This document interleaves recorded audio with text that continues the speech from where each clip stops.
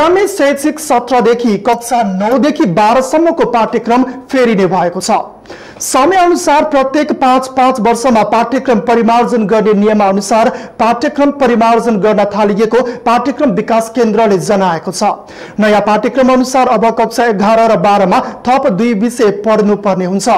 उनका अनुसार जीवन उपयोगी सिप र सामाजिक अध्ययन पचास पचास पूर्णाङ्कको पढ्नुपर्ने हुन्छ। नयाँ पाठ्यक्रम अनुसार नेपाली पचास र अङ्ग्रेजी भने एक सय पूर्णाङ्कको हुनेछ। यसअघि विक्रमसम्म दुई हजार चौसठीमा पाठ्यक्रम परिमार्जन भएको थियो।